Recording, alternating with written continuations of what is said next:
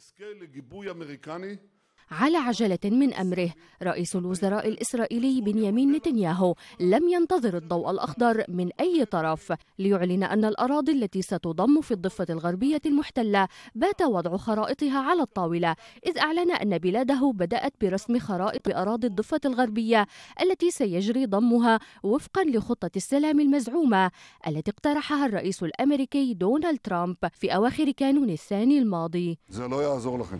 نتنياهو أكد أن بلاده ستحصل على دعم أمريكي لتطبيق القانون الإسرائيلي في غور الأردن وشمال البحر الميت وكل المستوطنات وهي منطقة أبقتها إسرائيل تحت الاحتلال العسكري منذ السيطرة عليها في عام 1967 لكن الفلسطينيين يطالبون بها كجزء من دولتهم في المستقبل.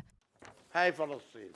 الرئاسة الفلسطينية ردت على تصريحات نتنياهو على لسان المتحدث الرسمي باسمها نبيل أبوردينا الذي قال إن الخريطة التي يعرفها الفلسطينيون هي خريطة دولة فلسطين على حدود الرابع من حزيران عام 1967 وعاصمتها القدس الشرقية ولن يتم التعامل مع خرائط غيرها.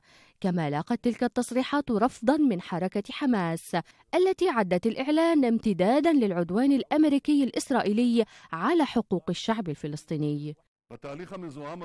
إعلان نتنياهو تزامن مع تعديل الصيغة الأولى لمشروع قرار قدمته تونس وإندونيسيا في مجلس الأمن بشأن خطة السلام الأمريكية من خلال حذف إشارة لإدانة الخطة من نص مشروع قرار فلسطيني من المقرر التصويت عليه في مجلس الأمن الدولي يوم الثلاثاء والذي سيقابل على الأغلب بفيتو أمريكي ما سيدفع الفلسطينيين إلى التوجه للجمعية العامة للأمم المتحدة.